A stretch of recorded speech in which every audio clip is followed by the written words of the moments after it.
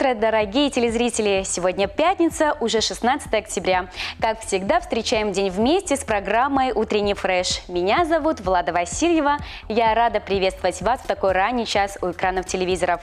И хочу познакомить гамельчан с историческими событиями и праздниками этого дня, а также рассказать о некоторых выставках. Поехали! Поехали!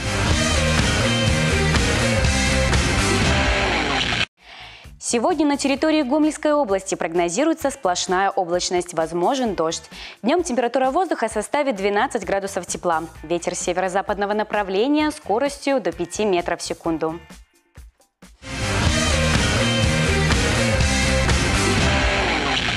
Каждый день хранит в себе важные и незабываемые события.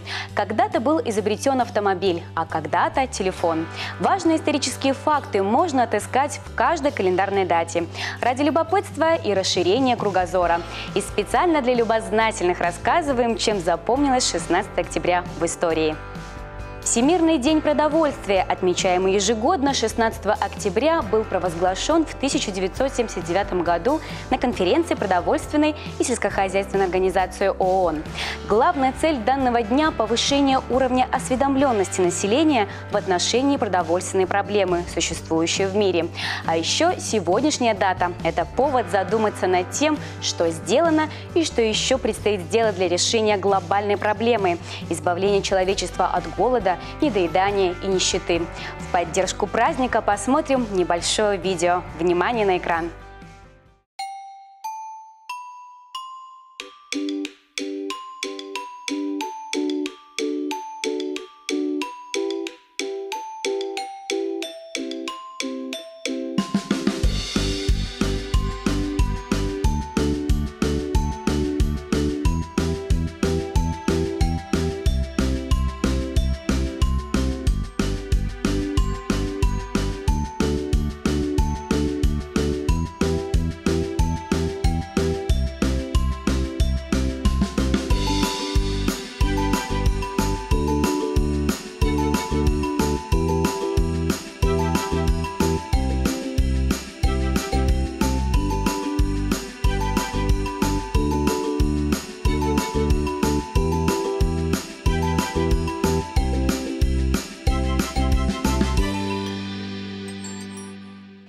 Значение хлеба в жизни людей сложно оценить. Без хлеба не обходится ни один прием пищи, ни одно застолье, потому что хлеб – это сытно и полезно. Поэтому неудивительно, что у него есть и свой праздник – Всемирный день хлеба, который отмечается ежегодно 16 октября. Праздник был учрежден в 2006 году по инициативе Международного союза пекарей и пекарей-кондитеров.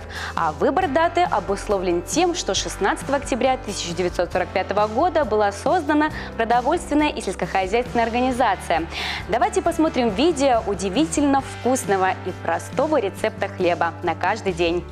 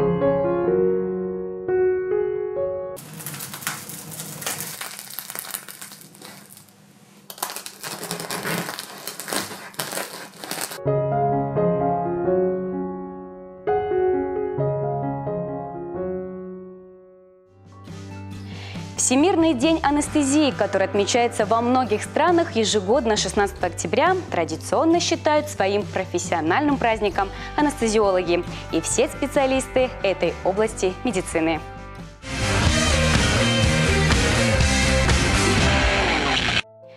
А сейчас поговорим о выставках. Картинной галереи Гаврила Ващенко сегодня открытие интерактивной выставки «Дом великана». Вы окажетесь в пространстве, где все знакомые предметы увеличены в десятки раз. Диван размером с грузовик, тюбик зубной пасты размером с кровать, а в банку сгущенного молока легко забраться целиком. Не пропустите выставку.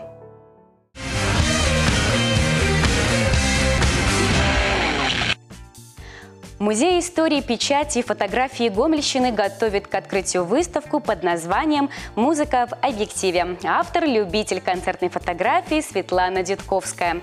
Интерес к фото у автора с детства, но результативное увлечение этим направлением началось в 2013 году с концерта экс-солиста дуэта Modern Talking Томаса Андерса в городе Коблинц. Гости музея увидят снимки, сделанные на концертах в Минске, Москве, Санкт-Петербурге, а также в Германии. Автор всегда старается поймать эмоциональные моменты выступления. В кадре Томас Андерс, Анни Вески и многие другие.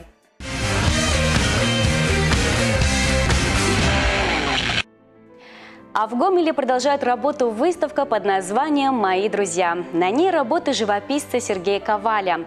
Большая часть из них составляет серию, посвященную известным художникам – Пабло Пикассо, Марко Шагалу, Амедео Модильяне и другим. В наивном творчестве Сергея Коваля каждый найдет знакомые места и образы, удивится игре фантазии и яркости цветовой мозаики, оценит оптимизм автора. Приходите в картинную галерею Гавриила Ващенко.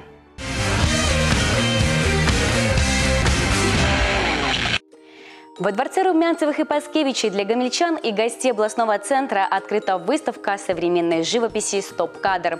Художник Юрий Платонов. Его творческий подход стал чем-то напоминать мгновенное реагирование на окружающий мир.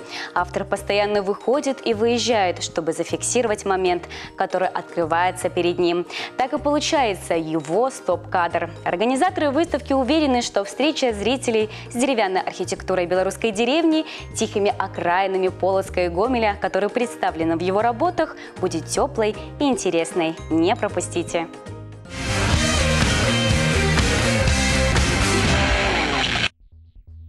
Картинная галерея Гаврила Ващенко представила выставку под названием «Что может быть лучше природы?» Афорта Ивана Шишкина. Живопись этого мастера любима многими поколениями зрителей. Менее известно его графическое наследие, хотя Шишкин был гравером-профессионалом. Он создал более ста листов, посвятив их изображению родной природы. На выставке будет представлен альбом «60 афортов профессора Шишкина 1870-1892 Санкт-Петербург». Петербург. Это оригинальный афорт и черной краской сепии. Причем папка является итогом более чем 20-летней работы художника в технике афорта.